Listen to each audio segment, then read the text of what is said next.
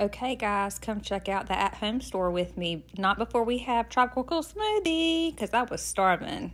Oh my goodness, carrots galore as soon as you walk in the door with the super cute sisal bunnies. The whole aisle was full of sisal bunnies, super cute wreaths and eggs and all the things.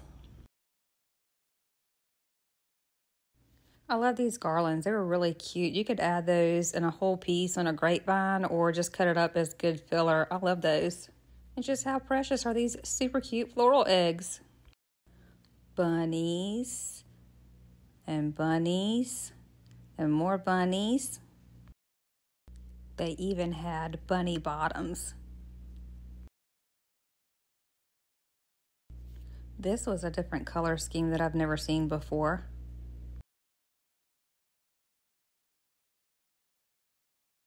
Now let's take a look at the flowers. They didn't have everything out. These right here are some of my favorite filler flowers and I'm gonna get some in yellow as well.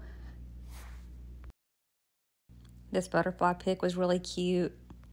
I love this little magnolia pick. It had little baby buds on it and I also got this long stem. It was really pretty, flirty, and whimsy.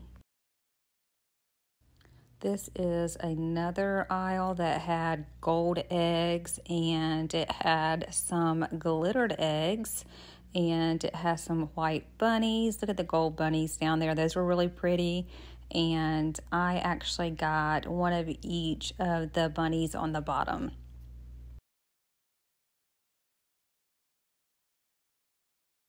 Okay, here's my haul. So that is a beehive, and that to the right is a heart pillow that I will use as a wreath attachment. And there's an anchor, and I got some bunnies, and not too much, but I think it was a pretty good score.